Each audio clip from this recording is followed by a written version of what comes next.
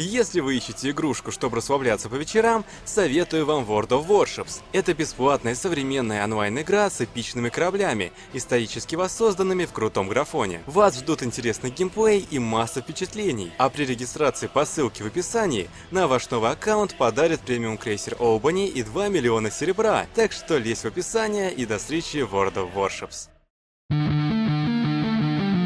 Всем привет, с вами Вандалей, и это одиннадцатая подборка приколов и багов в игре Сталкер Тень Чернобыля. Начнем этот выпуск с самого интересного, с информации об одной сцене в Припяти, которая не была доведена до финальной версии игры. Эту информацию нашли подписчики Александр Каучак и Юрий Простов, за что им огромное спасибо. Предоставили эту информацию они не только мне, так что о данной сцене вы уже могли слышать, но в неполном и неточном варианте. Итак, в Припяти, вдобавок к этим трем вертолетам, которые разбиваются у ДК, планировалось падение еще одного вертолета. Собственно, это он. Лежит у автовокзала, а рядом тусуются четверо военных с валами. Причем сходу непонятно, откуда они взялись. А они прилетели сюда именно в этом вертолете. Дело в том, что пилот попадал под влияние контролера. Вот подтверждающий это звуковой файл. База, я стая 4, скоро будем на месте. Удачи, стая 4. Я борт 020. Что-то не так. Слуховые галлюцинации. Да слышу. Черт, что это было? Не, нет. База, у меня все нормально. Ложная тревога. Борт 020 падает. Я база. Продолжайте следовать точке назначения. Это же наши ребята, мы должны помочь. Выполняйте приказы, стая 4. Но летящие внутри вертолета военные выживали. Судя по скриптам, их было семеро. Игрок мог видеть, как солдаты падают на колени и кричат, что это попав под действие контролера. Или контролеров. Ибо в билде 2571 их вообще трое, хотя в диздоках и написано всего об одном. Одни военные становились зомби на глазах игрока и нападали на него, а другие кончали жизнь самоубийством. Причем тем же скриптом, что и наемник Рябой, которого также из игры вырезали. Это тот, которого мы допрашивали в баре в задней комнате. И вот еще один звуковой файл из ресурсов игры, речь одного из выживших спецназовцев, на которого напали его зомбированные напарники. Братцы, да что с вами такое? Я же свой! Данная сцена появилась в сборках за 2005 год и преобразовывалась аж до самого релиза. Так, например, в билде 2571, а это март 2006 года, присутствует падение этого вертолета, а вокруг уже лежащей на земле модельки горит огонь. А вот сцены с зомбированными в билде нет. В финалке же нет ни падения, ни пламени вокруг вертолета, а только спаун четырех военных. Причем и визуально это не те же военные, что участвовали в сцене с контролером. Технически они представляли собой зомбированных, но изначально вели себя как обычные военные, и только потом поддавались психотропному воздействию. При релизной версии, между прочим, зомбированные военные нам не встречаются в принципе. Их нет не только в Припяти, но и во всей зоне. Вот как бойцы сцены выглядят в ТЧ в восстановленном виде.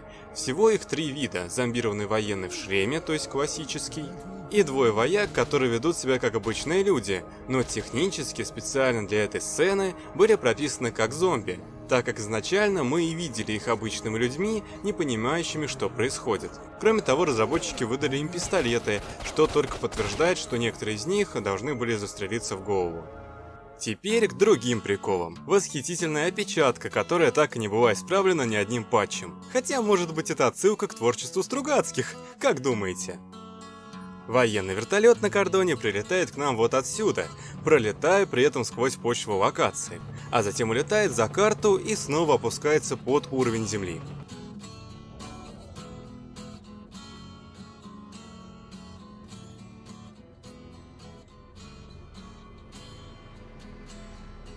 Но куда интереснее наблюдать за аналогичным вертолетом на Агропроме. В отличие от вертушки с кордона, агропромовский вертолет пролетает сквозь землю прямо у нас на глазах, если мы, конечно, побежим впереди крота, да так и добежим до болота. Более того, мы успеваем даже добраться до того самого места вплотную, вот только вертолет не подхватывает меченого, а спокойно пролетает сквозь него. Следующий прикол прислал подписчик Илья Залаев. На башне в баре находится точка пространства, идеально подходящая для медитации и попыток главного героя войти в астрал. Прикол от подписчика Егора Осипова. На текстуре коробки с патронами для калаша написано, что их в ней 60, но все мы знаем, что в игре в один короб вмещается только 30 патронов.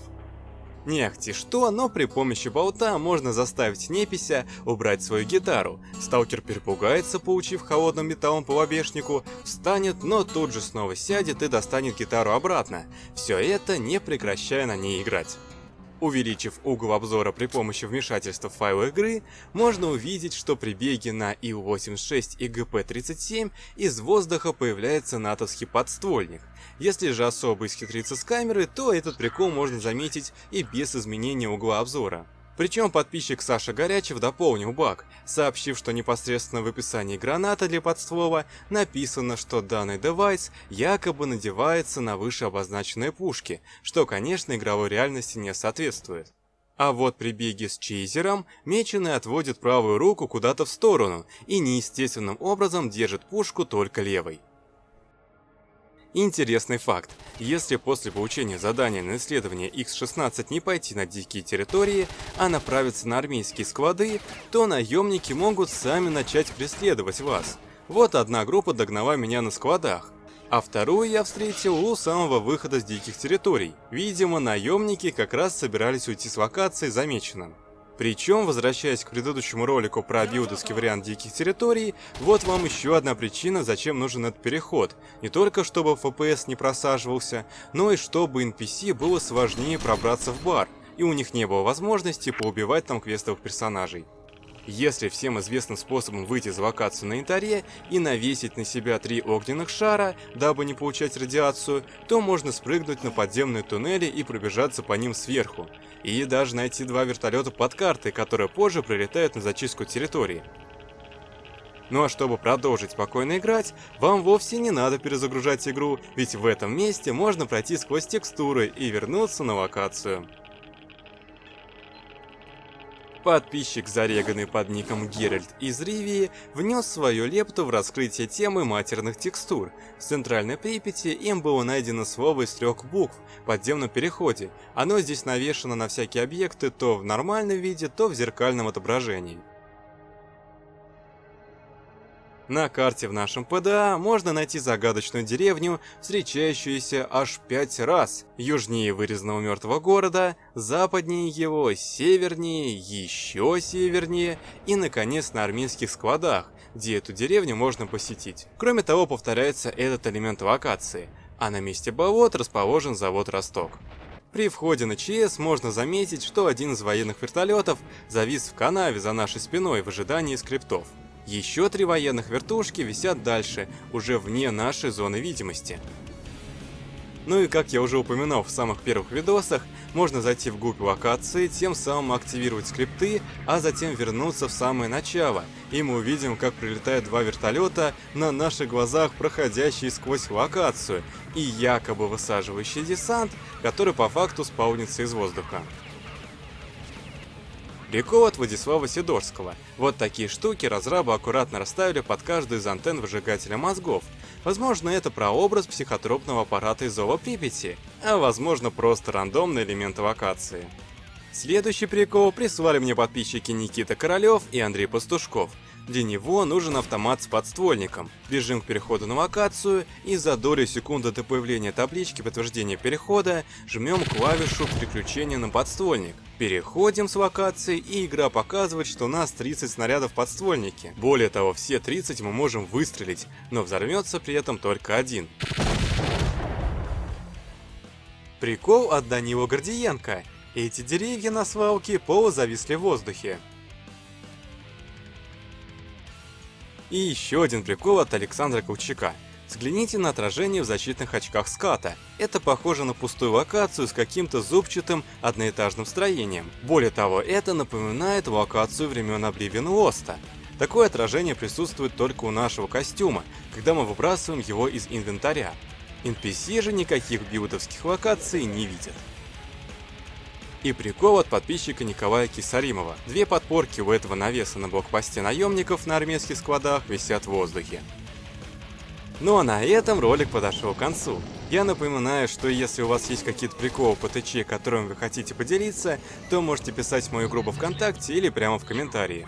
Спасибо, что досмотрели ролик до конца, надеюсь, вам понравилось. С вами был Вандалей. Всем удачи и всем пока.